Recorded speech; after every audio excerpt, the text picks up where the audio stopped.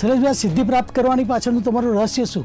એ ગમતું કામ કર્યું અને વ્યવસાય બની ગયો અને વ્યવસાયમાંથી ધીમે ધીમે તમે એક કક્ષા ઉપર આવી ગયા એવું મને લાગે છે. મેનેજમેન્ટ આપણો જે સબ્જેક્ટ છે મેનેજમેન્ટની પરિભાષા સમજાવશો?